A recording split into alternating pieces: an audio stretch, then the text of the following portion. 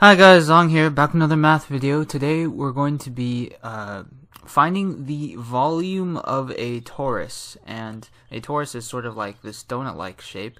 And um, sorry for the birds in the background. I have I, we just got some pets.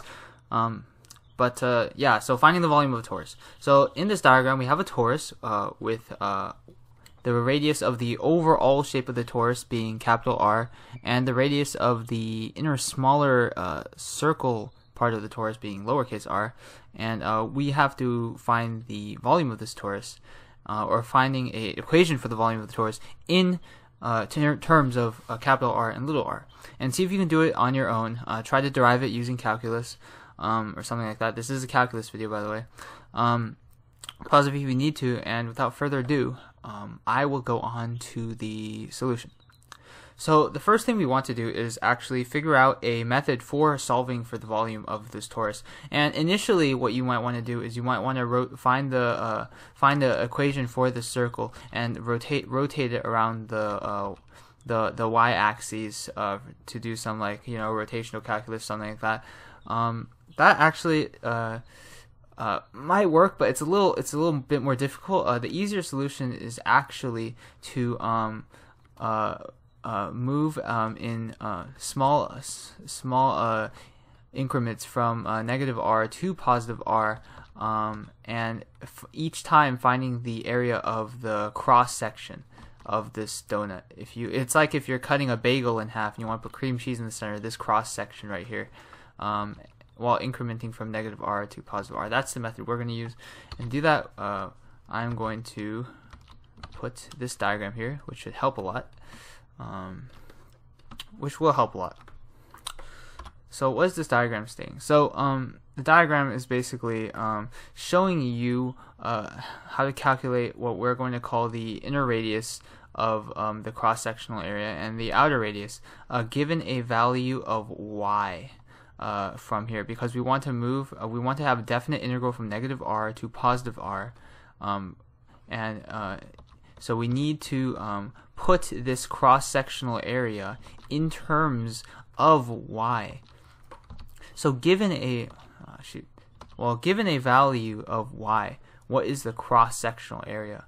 Um, and to find this cross-sectional area, we know the the uh, this cross-sectional area is uh, the area of this large circle subtracted from the areas of the small circle.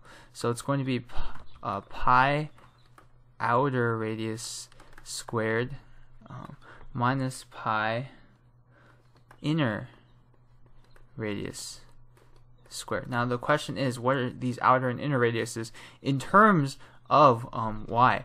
Um, well, we know that the this is uh, we know that the circ the circumference, I mean the the radius of this little circle is lowercase r.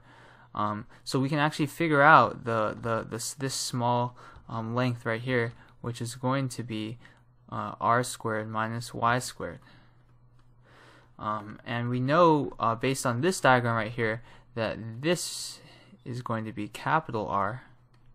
So um, the the inner radius right here is going to be capital R minus R squared, uh, square root of R squared minus Y squared. And the outer radius right here is going to be capital R plus R squared minus Y squared.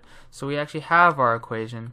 Um, the outer radius is going to be capital R um, plus square root uh, r squared minus y squared. Um, and the inner radius is going to be capital R minus lowercase r minus y squared. And we have our equation right here. If you simplify this equation using various algebra, um, you're going to get uh, 4 pi capital R square root to r squared minus y squared. Oh, what next? Well, we have an equation putting this cross-sectional um, area in terms of um, y. So now we're going to integrate with relation to y um, from negative r to positive r of uh, this expression. We're actually going to put 4 pi r on the outside. 4 pi r um, of square root r squared minus y squared dy. This can be simplified. Um, as you can see, this circle is symmetric, so the sum of the cross-sectional areas from negative r to 0 is going to be equal to the sum of cross-sectional areas from 0 to positive r. So to make things easier, we're going to multiply this by 2, and just put it from 0 to r. Uh, so just finding the volume of that part of the donut, um, just to make things a little easier. Alright, now the hard part is this integration. And your first instinct may be to um, just use some trig substitution, which can get really icky really fast.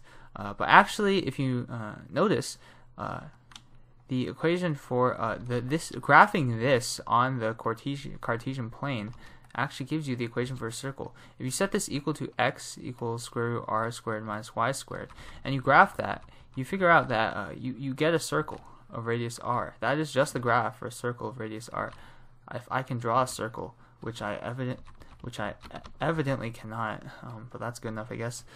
So um, this is going to be I oh, sorry, a little lag. This is going to be a circle of radius r. Um, and the question basically asks from 0 to r along the y part. So from 0 to r, what is the area bounded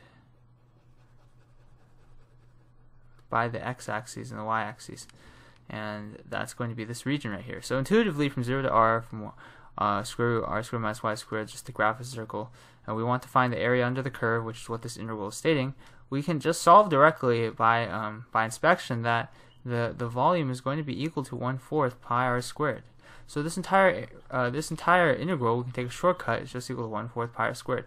If we use trig substitution, we've gotten really messy really fast. So this is a great shortcut. So this becomes two times four pi r times one fourth pi r squared, which is equal to two r capital R pi squared r squared. So if you ever want to find the volume of uh, your your your Krispy Kreme donut, um, you can you can just use this equation, capital R, a little r, and that'll give you the volume of a torus. I hope you liked that video. I'll see you next week. Be in both groups. Um, so actually, the number of um, combinations in group A corresponds to the number of partitions in n minus one instance